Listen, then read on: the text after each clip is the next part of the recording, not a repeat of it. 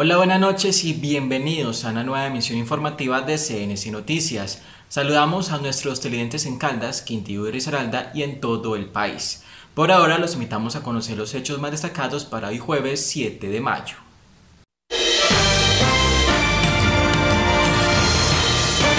Más de 700 kilos de marihuana estaban encaletados en bultos de papas. Además, la Policía Metropolitana de Pereira logró la captura de cuatro personas por el delito de secuestro. El Gaula y la policía de Risaralda entregan recomendaciones para no ser víctimas de extorsión. Declaran por segunda vez emergencia económica en Colombia. Hasta el 28 de mayo tendrán oportunidad para inscribirse al segundo semestre del año en la Universidad Tecnológica de Pereira. Tenga en cuenta algunas recomendaciones para que no ponga en riesgo su salud visual. Avanzan los controles preventivos en el departamento de Risaralda.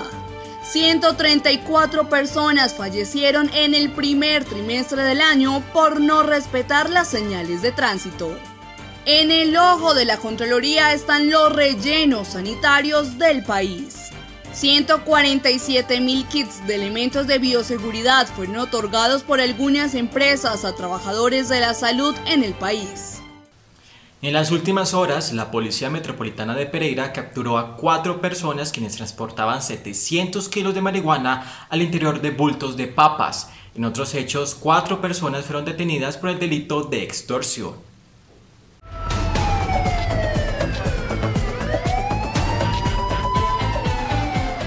En las últimas horas, la Policía Metropolitana de Pereira capturó a cuatro personas, quienes son señaladas de haber retenido en contra de su voluntad a una persona. La Policía Metropolitana de Pereira logra la captura de cuatro ciudadanos que se encontraban llevando de manera ilegal y de manera arbitraria a otro ciudadano en contra de su voluntad. Estas personas fueron capturadas y dejadas a disposición de autoridad competente.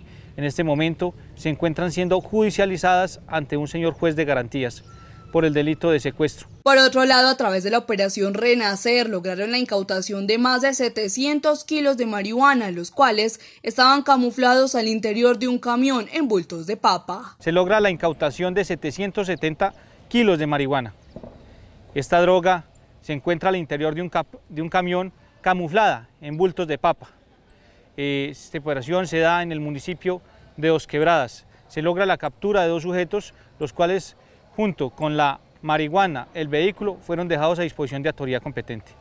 Ya es el segundo caso y sumamos más de una tonelada, 200 kilos, en el transcurso de las dos semanas que han transcurrido en acciones en contra del microtráfico y del narcotráfico en la jurisdicción de la Policía Metropolitana de Pereira. Y hablando de extorsión, el Gaula y la policía de Risaralda entregan algunas recomendaciones para no ser víctimas de este flagelo, pues en las últimas horas se han reportado nuevos casos en Guática y en Quinchía.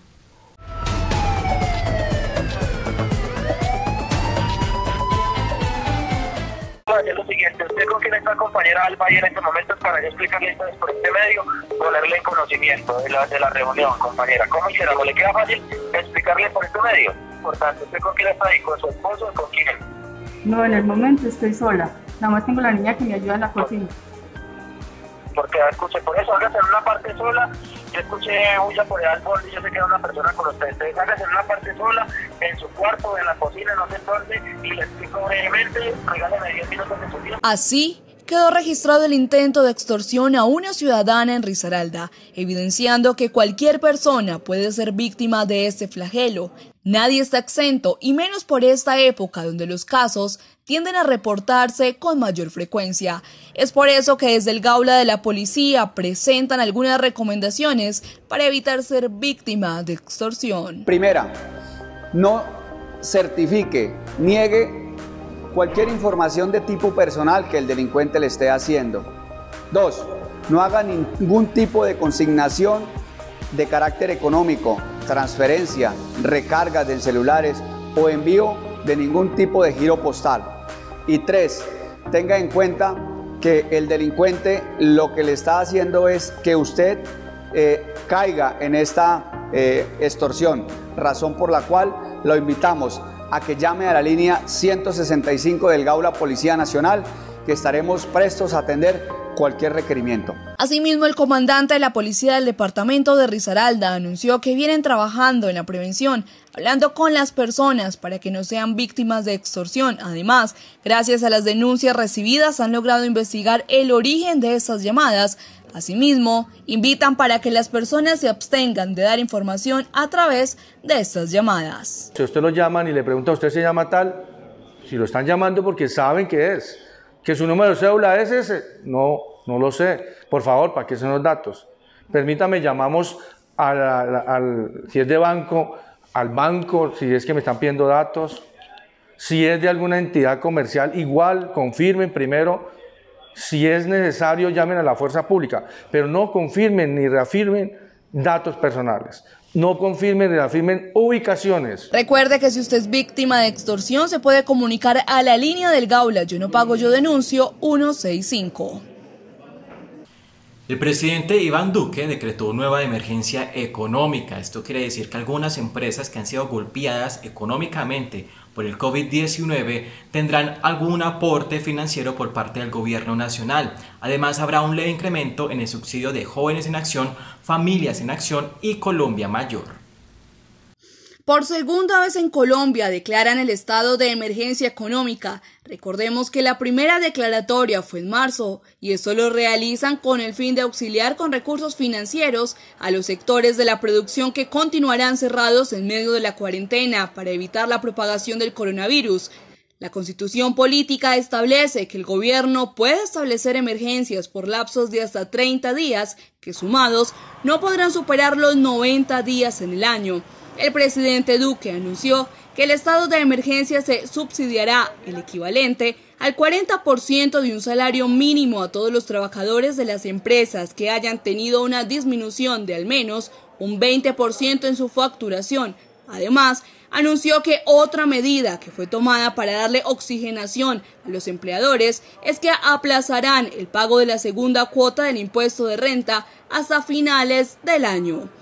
Duque decretó el 17 de marzo el primer estado de emergencia con el que expidió un paquete de medidas económicas de más de 4 mil millones de dólares en ayudas que incluyen el giro de recursos a programas de bienestar social para familias, jóvenes y ancianos vulnerables y garantías de créditos con el sistema financiero para las empresas. Asimismo, el ministro de Hacienda, Alberto Carrasquilla, anunció que deberán tomar más medidas para respaldar a los sectores que se van a tardar un mayor tiempo en retomar operaciones. Aunque el mandatario anunció que permitirá el restablecimiento gradual de otras actividades económicas diferentes a la construcción y a la manufactura que ya habían sido habilitadas, admitió que muchos otros sectores tardarán en volver a la normalidad para mantener un distanciamiento preventivo de las personas. El Comité de Normas Fiscales amplió el lunes el espacio del déficit del Gobierno Nacional Central para este año a un 6,1% del PIB, debido a una esperada contracción de la economía de un 5,5%. El nuevo déficit le permitirá al gobierno endeudarse en alrededor de 40 billones de pesos adicionales a lo previsto originalmente, cuando se proyectaba un desbalance de 2,2% del PIB. Luis Eduardo Gómez Pulgarín, de 51 años de edad, se encuentra desaparecido desde el pasado 4 de mayo del presente año en Dos Quebradas, sector Bodegas La Romelia, El Pollo. El hombre tiene una motocicleta Uteco blanco y negro, las placas son DLQ68E. Cualquier información, comunicarse al teléfono 351-5117, extensión 61609 o al celular 318-517-6625. Con esta información vamos a un pequeño corte para comerciales y ya volvemos con más información.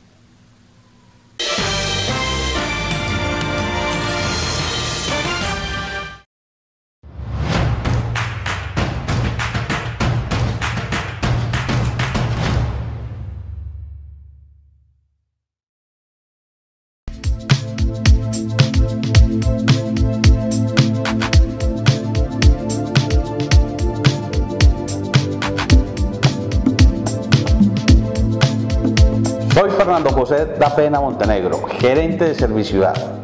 Ante la emergencia que vivimos por el COVID-19 y siguiendo las instrucciones del señor presidente de la República y de nuestro alcalde Diego Ramos, quiero invitar a todos nuestros suscriptores a que se queden en casa y utilicen los medios digitales para poder interactuar con la empresa. En nuestra página web encuentras el chat virtual para que te comuniques con la empresa en tiempo real. Segundo, tienes la opción del pago de tu factura a través del PSE. Tercero, puedes manifestar tus peticiones, quejas y reclamos a través de la página para que nosotros las atendamos de forma inmediata. Quiero recordarles que tenemos 180 puntos de apostar habilitados para esas personas que no pueden utilizar las plataformas digitales. También he dado la instrucción de que no habrá suspensiones programadas en nuestras redes de acueducto para poder tener acceso al agua. Y por último, desde ayer estamos haciendo todas las reconexiones a esos usuarios que tenían suspendido el servicio para que puedan usar el agua para evitar la propagación del virus. También quiero recordarles que tenemos habilitada nuestra línea única de atención al cliente. Siempre será contestada. Es un call center y allí nos puedes manifestar tus peticiones, quejas y reclamos e inquietudes que nos ayuden a prestar un mejor servicio. Prevenir es responsabilidad de todos. Serviciudad es empresa de todos.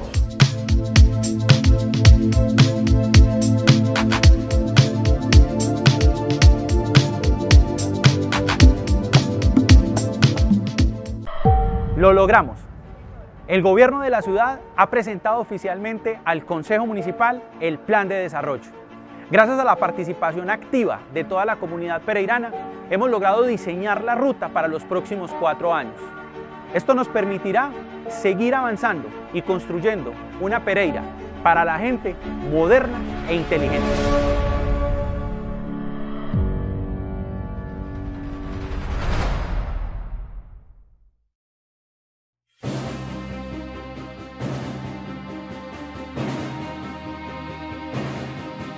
Queremos hacer un llamado muy especial a todos los conductores para que se cumplan las medidas que se han implementado en la ciudad de Pereira.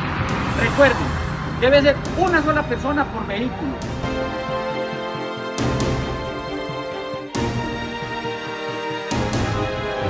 Vamos a llevarla, señora.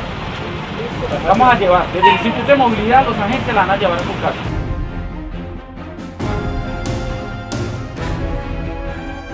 Una sola persona para salir a mercar y para salir a comprar medicamentos si se requiere. Una sola persona para salir a pasear la mascota.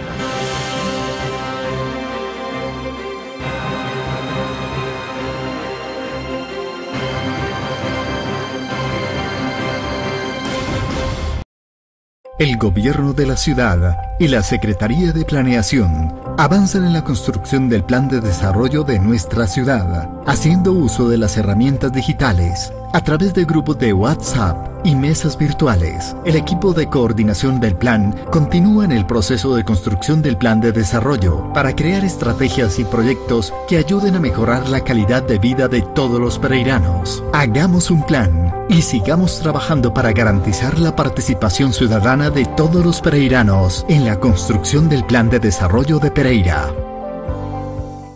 Soy Silvia Constain, ministra de Tecnologías de la Información y las Comunicaciones. Hoy quiero darles, en nombre de todos los colombianos, a todos los colaboradores del sector de tecnologías de la información y las comunicaciones, un agradecimiento muy especial por estar en campo, asegurándose que la infraestructura que nos está conectando a todos los colombianos entre nosotros y con el mundo esté funcionando y esté funcionando bien. Hoy también les pido que se cuiden, como todos los demás, que se laven las manos con mucha frecuencia, que usen gel, cada vez que puedan. Pero sobre todo, de verdad, simplemente un gran agradecimiento de parte de todos los colombianos, porque gracias a ustedes este proceso de aislamiento es muchísimo más llevadero. Muchas gracias.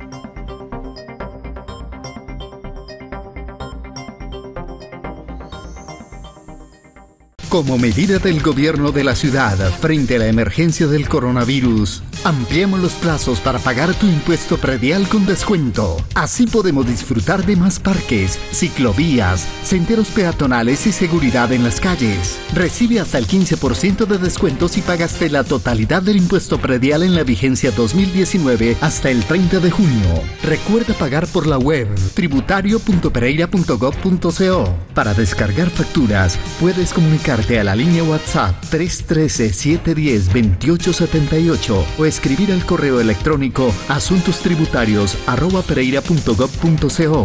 Pereira, Gobierno de la Ciudad, Capital del Eje.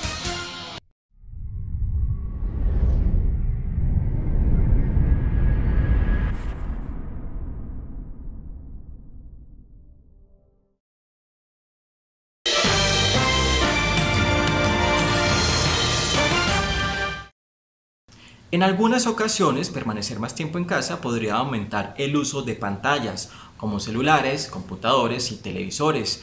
Por ello es pertinente tener en cuenta algunas recomendaciones para no poner en riesgo la salud visual.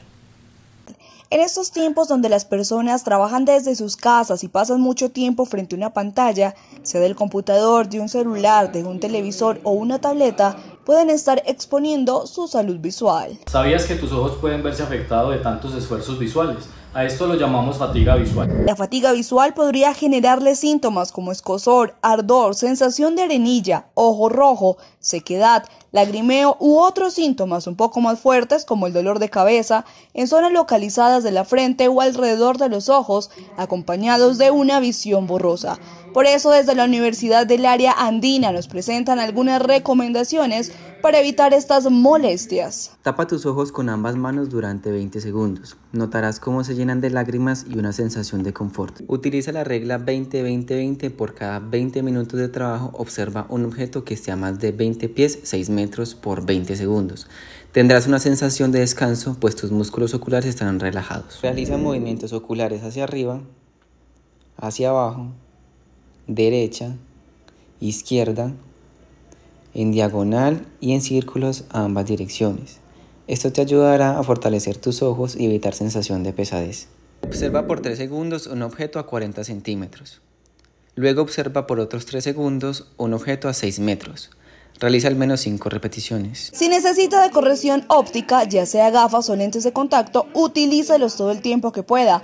Algunos lentes tienen tratamientos especiales que controlan regularmente la entrada de luz y además permiten que los ojos no se esfuercen tanto. No olvide parpadear, es una actividad que evita la resequedad y las molestias.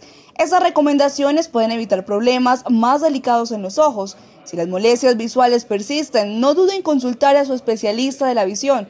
Se puede tratar de una enfermedad ocular como lo es el astigmatismo, la miopía, la hipermetropía o la presbicia. Avanza los controles preventivos en Risaralda, teniendo en cuenta las capturas de los últimos días y las personas que aún siguen siendo reincidentes al incumplimiento de la emergencia sanitaria. Por ello, las autoridades intensificarán los operativos. La policía del departamento de Risaralda continúa realizando actividades de control y prevención con el fin de crear conciencia en los ciudadanos para que en este tiempo de cuarentena los habitantes no salgan de sus casas si no es necesario. La Policía Nacional y nosotros aquí, Policía Risaralda, estamos encaminados primero a la prevención, segundo a la educación ciudadana, Tercero, hacer la solidaridad frente a la gente necesitada. Hemos hecho nosotros más de 160 campañas de prevención en lo que corresponde esta última semana. 130 urbanas, 30 rurales. Estamos también verificando las personas que están necesitadas y coayudando. Y es un aporte que la gobernación del departamento, el doctor Tamayo, nos ha ayudado con unos mercados. Los alcaldes están haciendo todo lo posible para llegarle a toda esta gente. Pero nuestro objetivo aquí no es ser represivos, nuestro objetivo es ser educativos. Algunas de las actividades de prevención están dirigidas a la verificación que todos los ciudadanos estén utilizando el tapabocas. Que las personas que estén en el transporte público estén realmente movilizando el 35% de lo que corresponde la capacidad del bus, que lleven sus guantes, que las personas que estén en los bancos estén con el distanciamiento social y no solamente en los bancos, sino también en las actividades comerciales normales como en la plaza de mercado, como en los almacenes de mediana o grandes superficies, en las tiendas e igualmente en cualquier otro lugar de los cuales están dentro de las 41 sesiones, si hay gente, debe mantenerse el distanciamiento social. Y es ahí donde nosotros estamos, con nuestros auxiliares, con nuestros patrulleros, con todo el personal que tenemos de apoyo. Tenemos más de 800 hombres en las, 24 horas tratando de que la ciudadanía cumpla con la normativa y se cuiden y los vamos a cuidar. Además, intensificaron las actividades de prevención para que se conserven las distancias en bancos, supermercados, zonas de comercio en general autorizadas y personas que hacen deporte. Todo esto con el fin de que acaten las medidas de bioseguridad y evitar la propagación del COVID-19. Cristian Daniel Ospina nos comparte un breve panorama de los acontecimientos más destacados a nivel regional y nacional.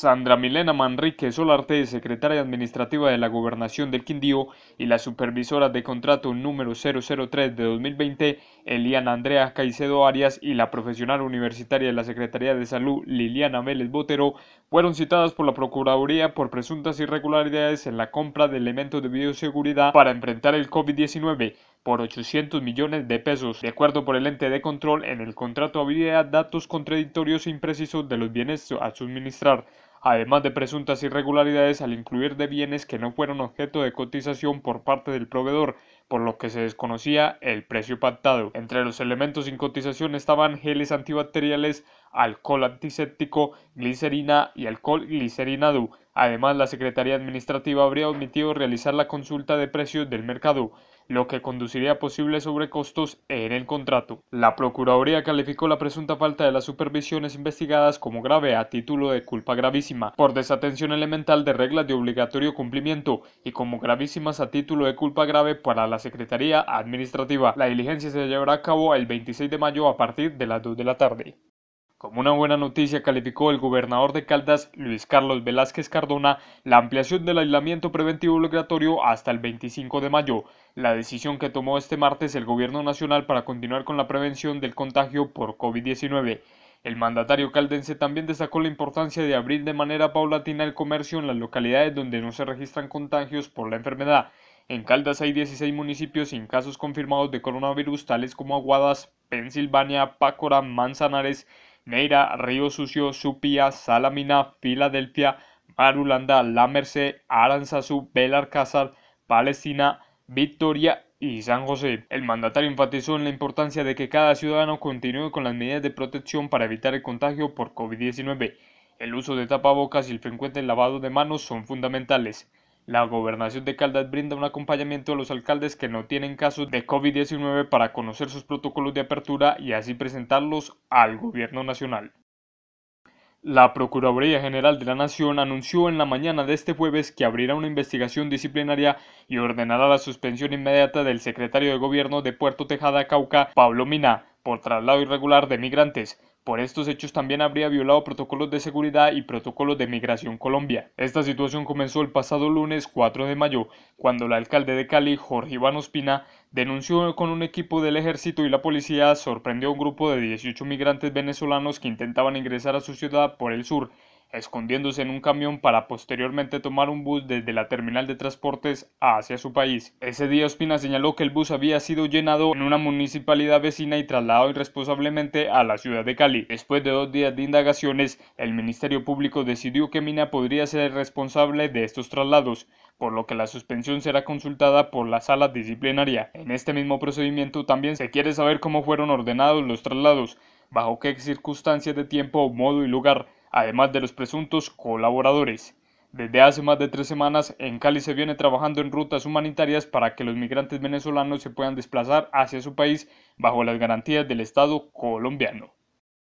El gobierno de Japón aprobó este jueves por la vía rápida el uso del medicamento antiviral Rendisivir para los pacientes de COVID-19, después de que el fármaco recibiera la luz verde en Estados Unidos la semana pasada. El Ministerio de Salud, Trabajo y Bienestar dio visto bueno tras mantener una reunión con un grupo de expertos. El medicamento patentado por la farmacéutica estadounidense Gilead se convirtió en el primer en obtener el permiso necesario de las autoridades japonesas como tratamiento para pacientes infectados del nuevo coronavirus. En el país, no obstante, ya se emplea de forma experimental el antiviral Favipiravir de la farmacéutica Fujifilm Toyama Chemical y desarrollado originalmente para combatir la gripe y se espera también su aprobación por la vía rápida para finales de este mes. El Rendisivir que se administra por vía intravenosa y se emplea para pacientes con síntomas más graves de COVID-19, recibió la autorización de emergencia del gobierno de Estados Unidos tras un reciente ensayo clínico que mostraba que el fármaco acortaba el tiempo de recuperación de algunos pacientes. Pese a las grandes expectativas que había generado como potencial tratamiento contra el COVID-19, este fármaco originalmente desarrollado para tratar el ébola, hay estudios que señalan que su eficacia contra el nuevo coronavirus no está clara.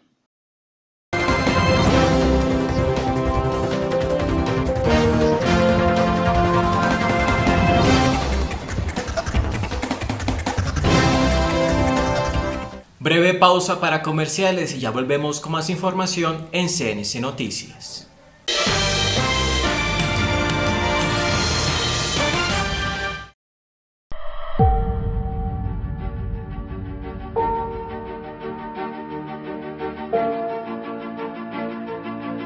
El gobierno de la ciudad acaba de expedir el decreto 401, que rige entre las 0 horas del día 4 de abril hasta las 0 horas del día 13 de abril.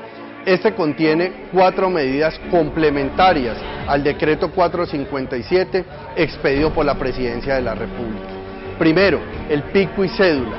Aquí vamos a alternar entre los últimos dígitos, pares e impares de la cédula, para que cuando tengamos que ir a un establecimiento comercial, debamos hacer nuestras compras en las tiendas de barrios, supermercados y grandes superficies, lo podamos hacer cuando el número de cédula nos corresponda. Cuando debamos ir a los establecimientos que expiden medicamentos o reclamar medicamentos, hacer uso de los servicios financieros o la compra de elementos de aseo. Segundo, el horario de funcionamiento de los establecimientos comerciales que anteriormente mencionamos está entre las 6 de la mañana y las 6 de la tarde. Por fuera de ese horario solo podrán funcionar los que tengan servicio a domicilio. Tercero, para las propiedades horizontales, los conjuntos residenciales, los condominios deben generar un completo y estricto funcionamiento al interior de estas propiedades. La mensajería debe llegar solo hasta la portería, no se permite el ingreso.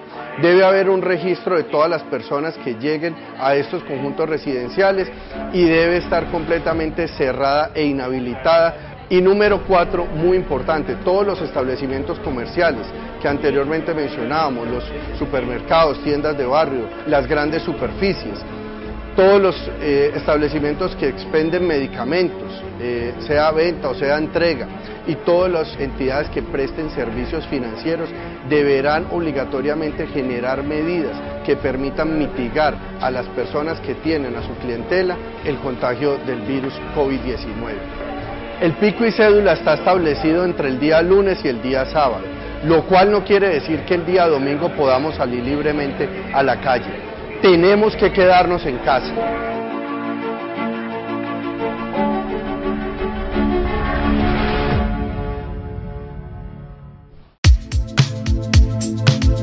El municipio de Dos Quebradas inicia hoy de manera articulada con la ayuda que dará el Gobierno Nacional para nuestros adultos mayores.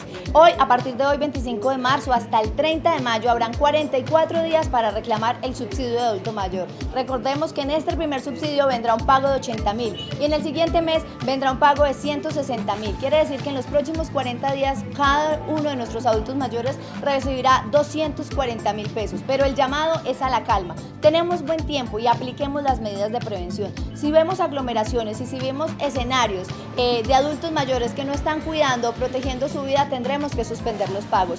También hay que recordarle a los familiares que no es necesario que nuestro adulto mayor venga hasta el sitio. El familiar puede venir a hacer el reclamo del dinero con una carta autorizada por el adulto mayor y la fotocopia de la cédula también firmada por el adulto mayor. En conjunto hemos habilitado ocho puntos de atención para reclamar los pagos en barrios diferentes. La oficina principal que está ubicada en el centro comercial Inducentro la Capilla, el Japón, Frailes, Campestre D, Los Sapos, Los Reyes y Molinos en las canchas. Recordemos que Dos Quebradas es empresa de todos.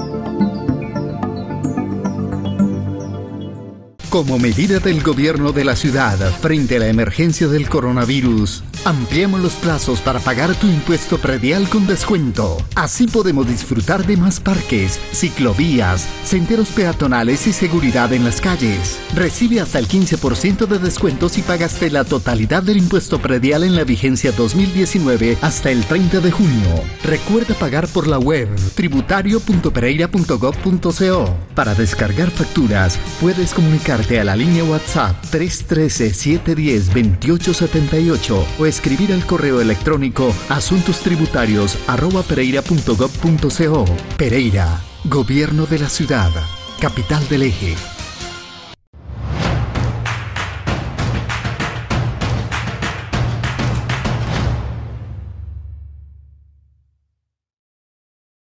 Reciban el más cordial saludo y la más respetuosa invitación a dejar de sufrir. Tiene problemas de cualquier naturaleza, acomplejado porque sufre enfermedades extrañas, vicios, padece de esclavitud al juego, no le rinde el dinero, está desempleado, amargado, confundido, amenazado, mala suerte en todo. Puede verme, lo invito para que solucionemos su problema, envíe una carta a este canal y espere su respuesta en Los astros, su destino y los sueños donde muchas personas han recuperado la felicidad perdida. ¿Qué es lo que le conviene? ¿Qué no le conviene? En amores, viajes o negocios, Daver Urbay para servirles en los astros, su destino y los sueños por CNC, el canal de nuestra gente.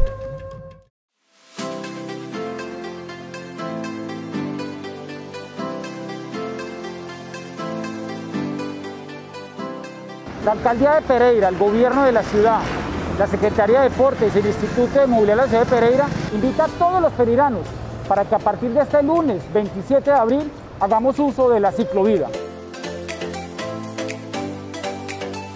Inicia a la altura de la estación del viajero del Megabús al ingresar al barrio Cuba y termina acá, en el Parque Olaya.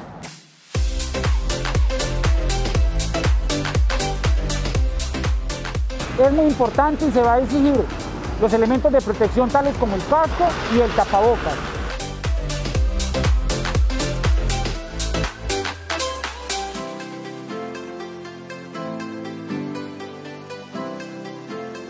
Básicamente es para personas que no quieran montar en transporte masivo y quieran hacer uso de la bicicleta. Es el medio donde vamos a tener menos riesgo de contagiarnos por el coronavirus ya que es un vehículo de uso individual. Hola, soy Jonathan Ortegón, eh, uno de los clientes de Super Patitas. Realmente me siento muy feliz con el trato que le han dado a mi mascota. Traemos a dos mascotas, a Malú y a Tango. Realmente no somos nosotros quienes los traemos, son ellos los que nos traen. Cada vez que pasamos por acá, ellos siempre quieren entrar, también se ha notado un cambio en el comportamiento de ellos. Ahora son perritos mucho más tranquilos, mucho más manejables y se nota que el trato que les dan es un trato que los hace mucho más felices.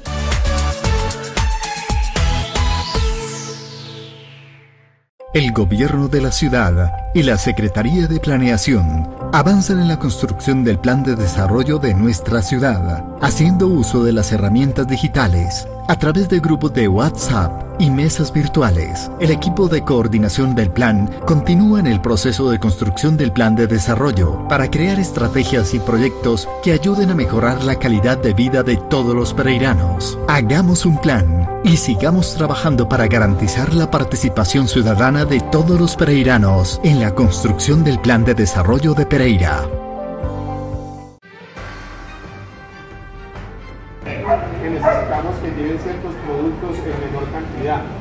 Ahora no podemos tener aglomeración de gente dentro de los establecimientos, les pedimos toda la paciencia, desplazarse solamente una persona por núcleo familiar, porque esto evita este tipo de Necesitamos el apoyo de toda la ciudadanía para lograr salir de esta situación.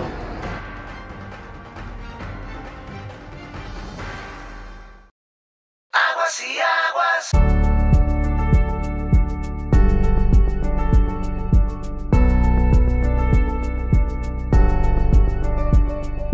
Este procedimiento tendrá una duración de 40 a 60 segundos. Mójese las manos. Deposite en la palma de la mano una cantidad de jabón suficiente para cubrir toda la superficie de las manos. Frótese la palma de la mano. Frote la palma de la mano derecha con el dorso de la mano izquierda y viceversa. Frótese la palma de la mano entre sí con los dedos entrelazados. Frótese el dorso de los dedos de la mano con la palma de la mano puesta. Frótese con movimientos de rotación el pulgar izquierdo, atrapándolo con la palma de la mano derecha y viceversa. Frótese la punta de los dedos de la mano derecha con la palma de la mano izquierda, haciendo un movimiento de rotación y viceversa. Enjuáguese las manos, séquese con una toalla y cierre el grifo usando una toalla. Ahora sus manos son seguras. Información tomada de la Organización Mundial de la Salud. Aguas y aguas, nuestra empresa. Lo logramos. El gobierno de la ciudad ha presentado oficialmente al Consejo Municipal el plan de desarrollo. Gracias a la participación activa de toda la comunidad pereirana, hemos logrado diseñar la ruta para los próximos cuatro años. Esto nos permitirá seguir avanzando y construyendo una Pereira para la gente moderna e inteligente.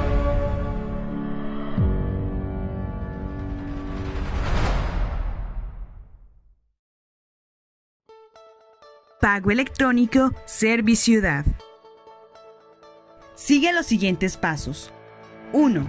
Ingresa a la página web www.serviciudad.gov.co y da clic en Pague su factura. 2. Ingresa el número de cuenta dos veces y haz clic en Continuar. 3. Selecciona el tipo de persona y banco donde tienes la cuenta bancaria, de donde se va a hacer el débito del pago de la factura y luego da clic en Continuar. 4. Verifica la cuenta y el valor a pagar y luego da clic en Aceptar para finalizar la transacción.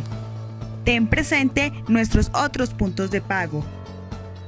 Redevan Multicolor, Empresa de Energía de Pereira, Banco da Vivienda, Banco Sudameris, Apostar, el cual es la mayor empresa de recaudo, con 350 puntos entre Pereira y Dos Quebradas, y Banco Colpatria.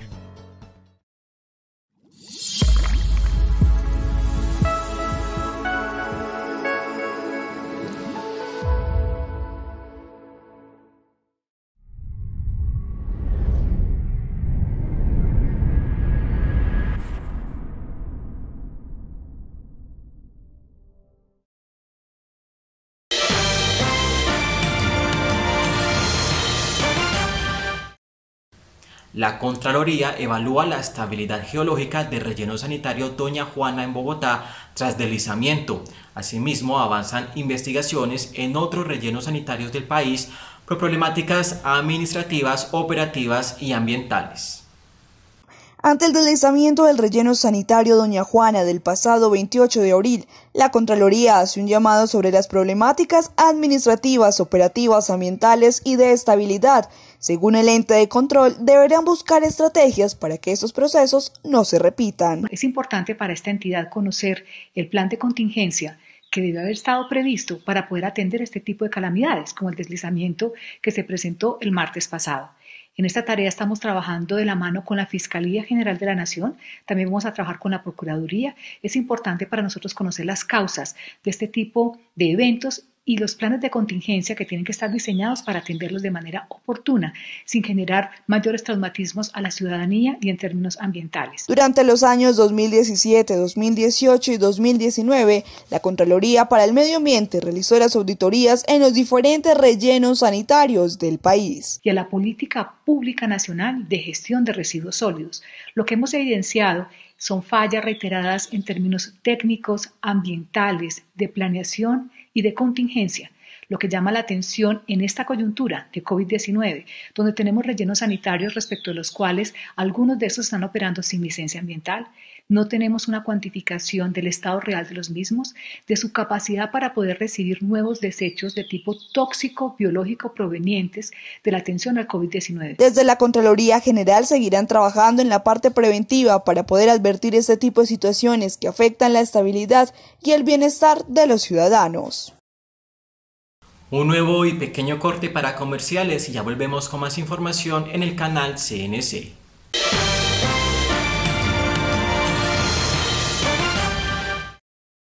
El gobierno de la ciudad y la Secretaría de Planeación avanzan en la construcción del plan de desarrollo de nuestra ciudad, haciendo uso de las herramientas digitales a través de grupos de WhatsApp y mesas virtuales. El equipo de coordinación del plan continúa en el proceso de construcción del plan de desarrollo para crear estrategias y proyectos que ayuden a mejorar la calidad de vida de todos los pereiranos. Hagamos un plan y sigamos trabajando para garantizar la participación ciudadana de todos los pereiranos en la construcción del plan de desarrollo de Pereira.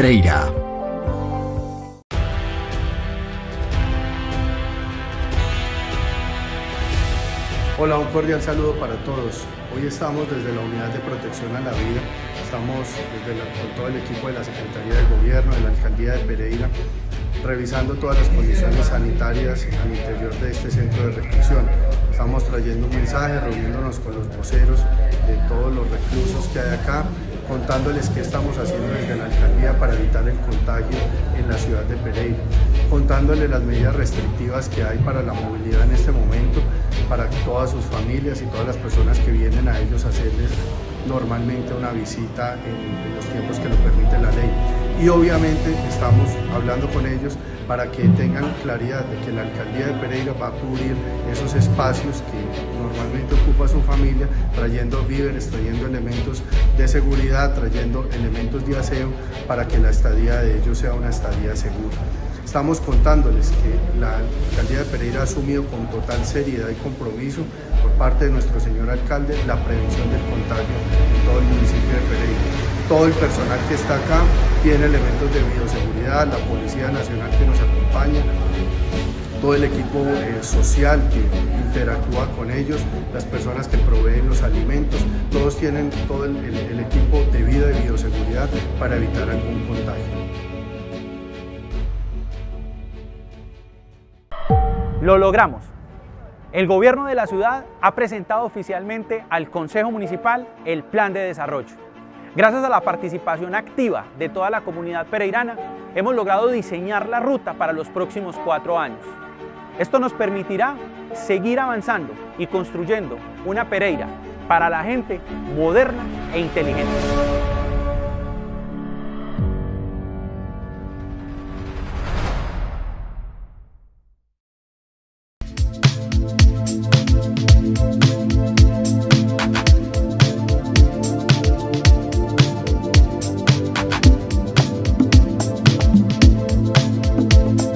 Soy Fernando José da Pena Montenegro, gerente de Serviciudad. Ante la emergencia que vivimos por el COVID-19 y siguiendo las instrucciones del señor presidente de la República y de nuestro alcalde Diego Ramos, quiero invitar a todos nuestros suscriptores a que se queden en casa y utilicen los medios digitales para poder interactuar con la empresa. En nuestra página web encuentras el chat virtual para que te comuniques con la empresa en tiempo real. Segundo, tienes la opción del pago de tu factura a través del PSE. Tercero, puedes manifestar tus peticiones, quejas y reclamos a través de la página para que nosotros las atendamos de forma inmediata. Quiero recordarles que tenemos 180 puntos de apostar habilitados para esas personas que no pueden utilizar las plataformas digitales. También he dado la instrucción de que no habrá suspensiones programadas en nuestras redes de acueducto para poder tener acceso al agua. Y por último, desde ayer estamos haciendo todas las reconexiones a esos usuarios que tenían suspendido el servicio para que puedan usar el agua para evitar la propagación del virus. También quiero recordarles que tenemos habilitada nuestra línea única de atención al cliente. Siempre será contestada. Es un call center y allí nos puedes manifestar tus peticiones, quejas y reclamos e inquietudes que nos ayuden a prestar un mejor servicio. Prevenir es responsabilidad de todos. Serviciudad es empresa de todos.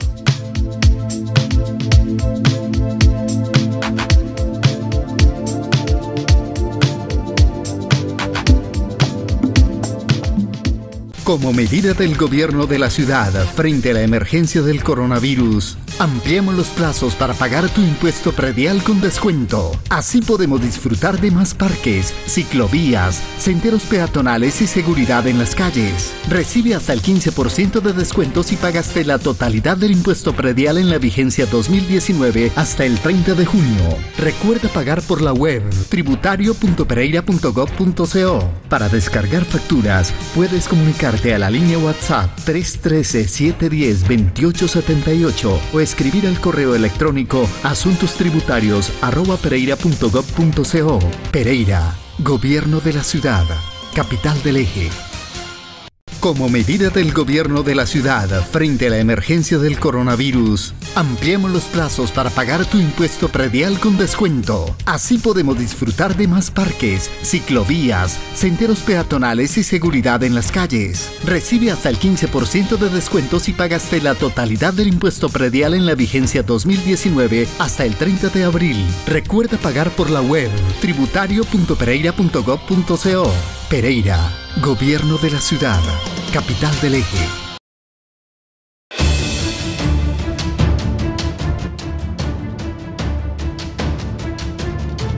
Nos, nos permite llevarlo al albergue el día de hoy.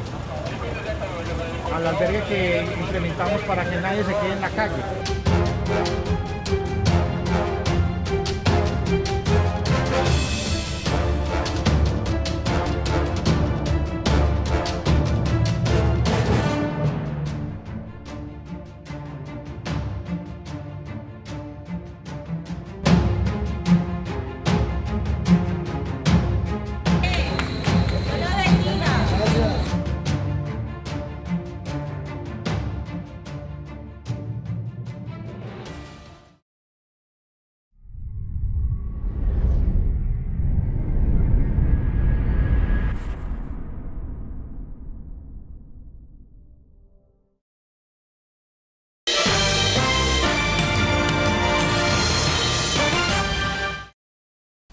En el primer trimestre del año han fallecido 134 personas por no respetar las señales de tránsito.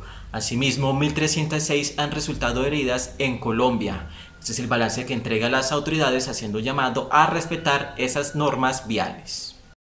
Un llamado es el que hacen desde la Agencia Nacional de Seguridad Vial a todos los conductores en el marco de excepciones para que tengan en cuenta las señales de tránsito, pues estas ayudarán a salvar las vidas. Según un reciente informe del Observatorio de la Agencia Nacional, en el primer trimestre del 2020, 134 personas perdieron la vida por irrespetar las señales de tránsito. Más de 2.800 personas han sido sancionadas durante este aislamiento obligatorio por no respetarlas. Los más importantes son el semáforo en rojo, el pare y la contravía. Todo lo anterior puede causar un siniestro vial y por eso desde la Agencia Nacional de Seguridad Vial queremos recordarles lo importante que es respetar las señales de tránsito para poder movilizarnos en las vías colombianas. En lo que respecta a los días de cuarentena, se han presentado cuatro muertes y 20 lesionados de gravedad. Según el análisis del observatorio, un 51% de los fallecimientos ocurridos durante el primer trimestre fueron de motociclistas, mientras que un 27% fueron peatones y un 9% ciclistas. El 61% de los siniestros se presentaron en entornos urbanos y los lugares con mayor incidencia por esta causa fueron Bogotá, Santander, Arauca, Valle del Cauca y Bolívar. Hasta aquí toda la emisión informativa de CNC Noticias. Recuerde seguirnos en nuestras redes sociales, en Facebook como Canal CNC Pereira, en Instagram como Canal CNC Regional y en Twitter como arroba CNC Noticias. Que tengan todos una feliz noche.